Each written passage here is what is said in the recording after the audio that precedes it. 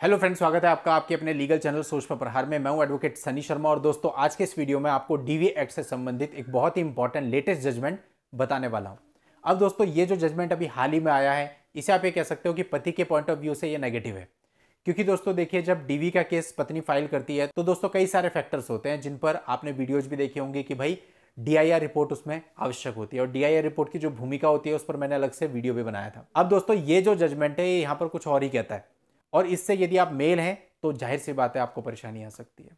दोस्तों, देखिए DV act की धारा 12 के अंतर्गत ये केस दर्ज किया जाता है महिला के द्वारा कि उसके साथ कुछ घटना घटी है। आपके घर में रहते हुए घरेलू हिंसा कारित हुई है तो इस प्रकार का केस महिला के द्वारा दर्ज आपके ऊपर करा दिया जाता है। लेकिन दोस्तों, इस केस के लिए क्या होता है कि इनिशियल लेवल पे ही प्रोटेक्शन ऑफिसर के द्वारा एक रिपोर्ट लगाई जाती है, जिसे कि हम डीआईआर रिपोर्ट या डोमेस्टिक इंक्वायरी रिपोर्ट भी कहते हैं। लेकिन यहाँ पर दोस्तों कोर्ट ने कह दिया कि यदि पत्नी protection of women from domestic violence act 2005 की धारा 12 के अंतर्गत डीवी का केस फ़ाइल करती है तो उसके लिए जो डीआईआर है वो कंपल्सरी नहीं है। अब ऐसा क्या मामला था?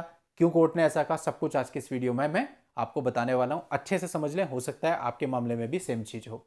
और दोस्तों, आपने अभी तक भी चैनल को सब्सक्राइब नहीं किया है तो चैनल को सब्सक्राइब करके नोटिफिकेशन बेल पर ज़रूर क्लिक कर दें, ताकि फ्यूचर में जब भी इस प्रकार के लेटेस्ट अपडेट आए और मैं आपके लिए लेकर के आऊँ तो उसकी जानकारी आपको सबसे पहले मिले। दोस्तों, मामला ये ऐसा था कि डीवी एक्ट के अंतर्गत पैंतालीस पर मंथ का एंट्री मेंटेनेंस का ऑर्डर कोर्ट ने एक्सपार्टी कर दिया था। अब ये जो डीवी का केस था, ये महिला ने अपनी शादी के एक साल के बाद दर्ज कराया था। और पति का कहना था कि प्राइमा फेसिया डीवी जैसी घटना का कोई भी एविडेंस कोई भी साक्ष्य पत्रावली पर नहीं था। और जो महिला थी वो केवल कुछ ही दिन अपने पति के साथ रही थी। अब इस चीज़ के खिलाफ जो पति था, वो आया था हाई कोर्ट में कि और पति का वर्जन ये था कि ये जो पूरा मामला था, इसके अंतर्गत कहीं पे भी डीआईआर रिपोर्ट नहीं थी और बिना डीआईआर रिपोर्ट के एक्सपर्टी के रूप में मेंटेनेंस कोर्ट नहीं कर सकती है। लेकिन दोस्तों देखो, जो कोर्ट्स होती हैं, वो सारी चीज़ों को देखती हैं। अब कोर्ट ने ये देखा कि भाई आपके ऊपर डीवी का केस दर्ज हुआ। आपको उसका रिप्लाई फ़ाइल करने के लिए प्रॉपर मौका दिया गया, जितना लीगल टाइम होता है वो आपको दिया गया, लेकिन आपने अपना रिप्लाई फ़ाइल नहीं किया।